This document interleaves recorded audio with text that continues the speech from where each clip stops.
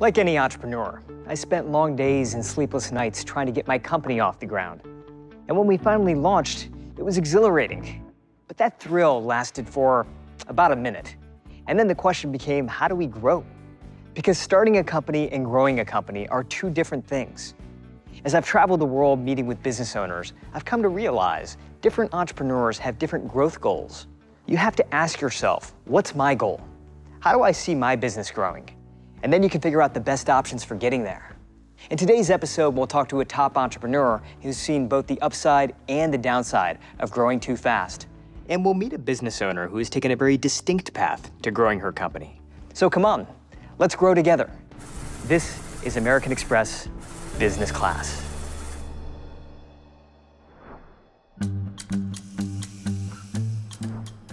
Growth is something that renowned chef and restaurateur Tom Colicchio is very familiar with.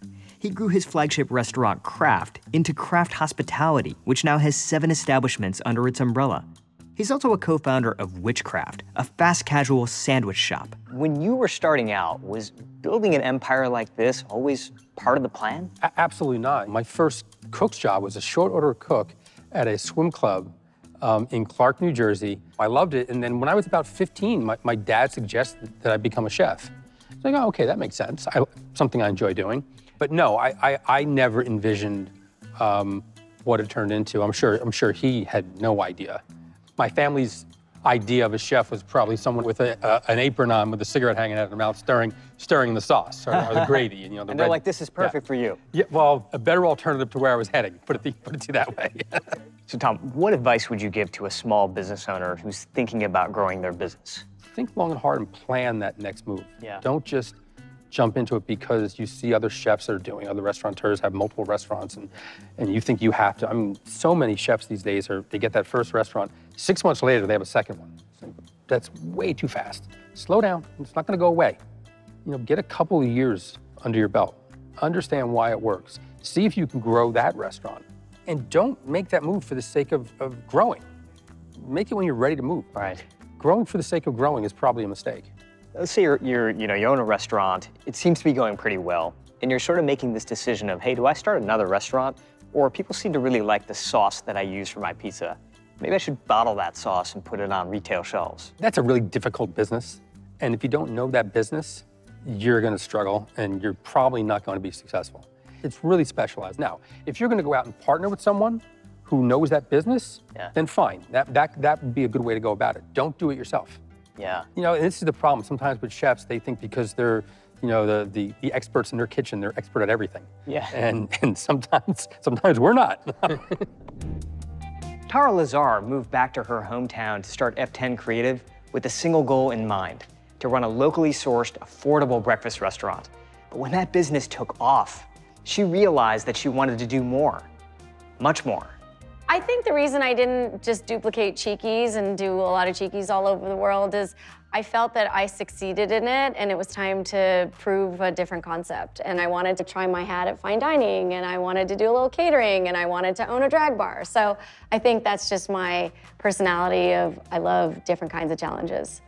The trick to Tara's growth lies in extending her core brand, and that requires discipline, research, and above all, remaining true to what makes her brand special. One of the worst case scenarios for us, we could create something that isn't in line with something that we do, and people say, oh, the quality's not as good, and therefore the whole F10 brand's going down.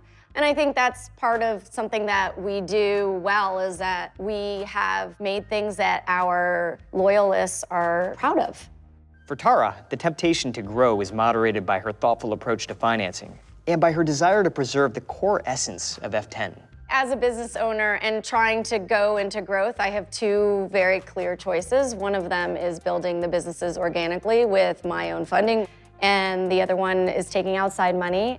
The upsides of taking outside money, I think, is that we have a lot more money to work with. We can grow faster, we can get the things we want instantly, but the downsides to that is obviously we have to answer to someone, and profitability becomes much more of an objective than doing things we love and we want to do. One of the reasons I joined this industry is because there's so much of a creative element and I can't imagine someone dictating my creativity and I feel that that magic and that decision making is what makes us successful. and then to see the success on the other side, can't beat that. You know, one of the biggest risks for expansion is that new customers might not want the same thing as your current ones do. So you really need to do your homework and make sure your expansion or extension plans make sense. Of course, growth as a goal is meaningless unless you can execute, and that takes resources, cash flow, talent. So your growth strategy has to play to your strengths and match your means.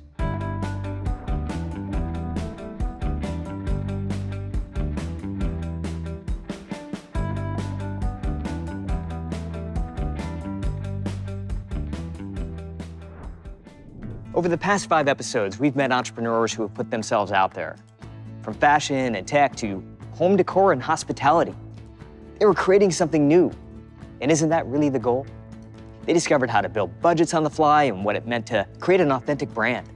They figured out how to grow their business while learning a ton about leadership along the way. It has been my greatest privilege to guide you on this journey. Thank you for watching.